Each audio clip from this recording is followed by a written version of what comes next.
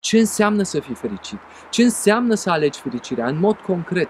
Pentru că e ușor să spui alege să fii fericit. Nu e pur și simplu ca și cum ai alege o pereche de pantofi în locul alteia. Ce înseamnă să alegi să fii fericit?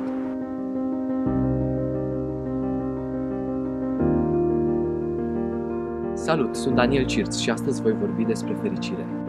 Abraham Lincoln a spus că majoritatea oamenilor sunt fericiți în măsura în care aleg să fie. Poate te gândești că e simplu să spună cineva lucrul acesta care a ajuns în vârful piramidei, însă poate nu știai că Abraham Lincoln s-a luptat toată viața cu depresia. Tot timpul a fost predispus spre melancolie, deci așa o numește el în jurnalul lui, pe vremea aceea nu exista încă termenul de depresie. Însă dacă președintele american a reușit ceva în viața aceasta, este datorită faptului că a luptat cu sentimentele de descurajare, a luptat cu lucrurile potrivnice și a ales să fie fericit. Ce înseamnă să fii fericit și ce înseamnă să alegi fericirea? De multe ori oamenii văd fericirea ca fiind undeva la capătul drumului. Trebuie să încetăm să vedem fericirea felul acesta. Mai degrabă trebuie să o vedem ca drumul în sine,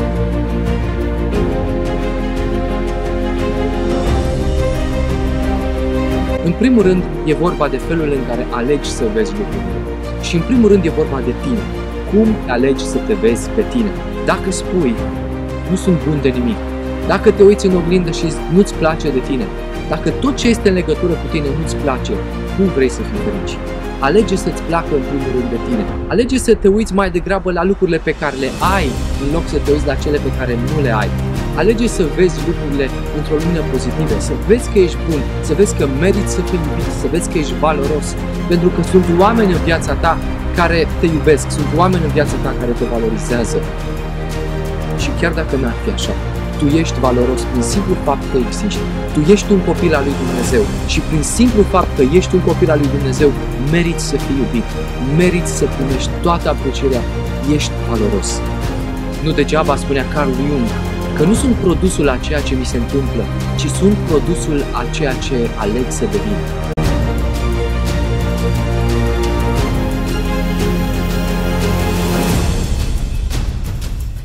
A doua alegere a oamenilor fericiți este felul în care ei văd lumea din jurul lor.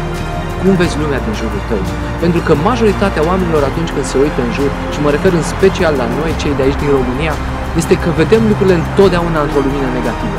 Nu ne place cum conduc alți șoferi, nu ne place cum sunt condițiile, nu ne place cum ne conduc guvernanții noștri și așa mai departe. Dacă tu întotdeauna vezi lucrurile negative, dacă nu vezi că există oameni buni în jurul tău, cum vrei să fii fericit? Alege să vezi partea bună a lucrurilor. Alege să-i vezi pe oamenii buni. Alege să te gândești în felul acesta, că oamenii nu sunt răi, ci pur și simplu poate au avut o zi proastă. Poate că pur și simplu s-a întâmplat ceva în viața lor și asta i-a dat peste cap. Gândește-te că oamenii din jurul tău merită să fie iertați, merită să fie priviți cu iubire, pentru că și ei sunt ființe ca tine. Dacă tot ceea ce ți se întâmplă este negativ, cum vrei să fii fericit? Dacă vrei să fii fericit, alege să vezi lucrurile că într-adevăr îți sunt favorabile. Lumea din jurul tău nu este ostilă așa cum crezi. Lumea din jurul tău te poate ajuta să-ți atingi obiectivele. Martin Luther spunea că nu e posibil să împiedici păsările să zboare deasupra capului tău, însă le poți împiedica să-și facă cuib în părul tău. Așadar, aduți aminte de frumoasa melodie a lui Louis Armstrong. What a wonderful world. What a wonderful world! Pentru că te uiți în jur și poți vedea într-adevăr minuni. Te uiți în jur și poți vedea lucruri extraordinare. Nu te opri să vezi lucrurile care nu-ți convin. Uită-te mai degrabă la tot ceea ce e frumos. Uită-te în jur, uită-te la natura care este creată în jurul tău. Totul poate fi atât de frumos. Dacă alegi să le vezi într-o lumină pozitivă, într-adevăr poți să spui și tu ce lume minunată.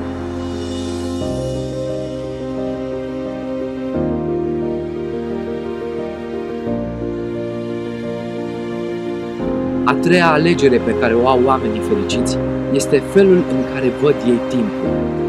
Oamenii fericiți se uită la trecut și mai degrabă numără binecuvântările și sunt mulțumitori. Nu văd lucrurile pentru care sunt frustrați.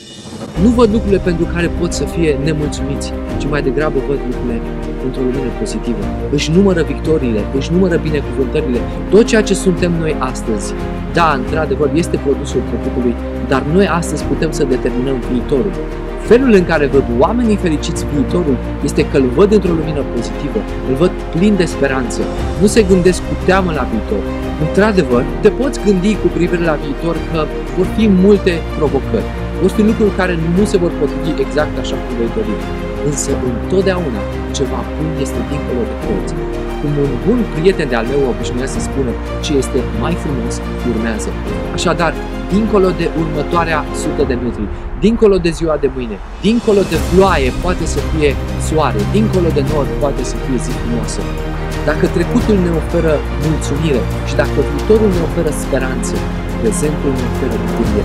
Bucură-te de clipa de astăzi, bucură-te de tot ceea ce ai, bucură-te de ceea ce ți se oferă, bucură-te de ceea ce poți oferi, bucură-te de oamenii pe care îi întâlnești, investește 100% din energia ta, din, din feeling-ul tău, oferă 100% prezență în acest moment. Alege să fii fericit. Alege să privești lumea cu ochii mai buni. Alege să te privești pe tine cu ochii mai buni. Ridică ochii și vezi că sunt oameni în jurul tău care te iubesc. Uită-te în oglindă și spuneți, te iubesc. Uită-te în oglindă și spuneți, ești o ființă extraordinară, ești copilul lui Dumnezeu. Într-adevăr, în felul acesta alegi să fii fericit. Alege astăzi să fii fericit, pentru că fericirea este o alegere. Dacă ți-a plăcut acest video, nu uita să te abonezi. Mulțumesc mult pentru că mă urmărești.